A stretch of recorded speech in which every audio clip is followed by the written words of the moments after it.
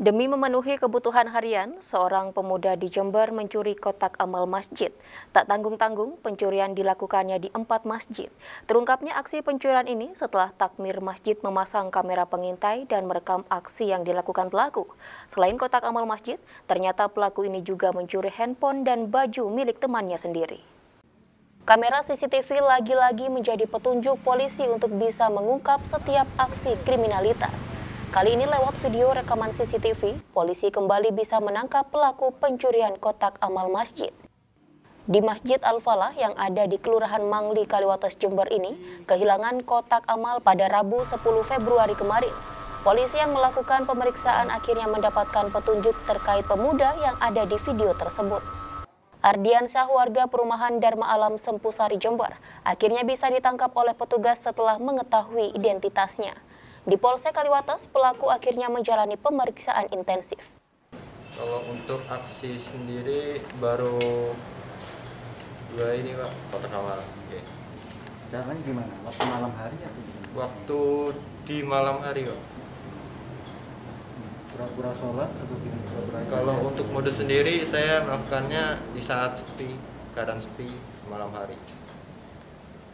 Bergunakan untuk apa hasilnya? Kalau uangnya sendiri saya gunakan untuk makan sehari-hari pak. Sebanyak empat kali pencurian kotak amal dilakukan pelaku. Pelaku juga mencuri handphone milik temannya sendiri beserta baju di malam hari.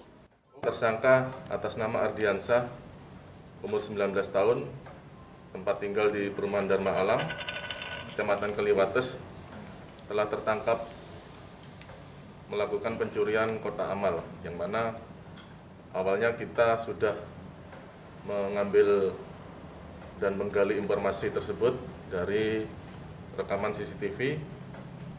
Kemudian setelah pelaku ketangkap, terungkap 4 TKP yang dilakukan oleh tersangka yaitu melakukan pencurian uang kotak amal ada dua TKP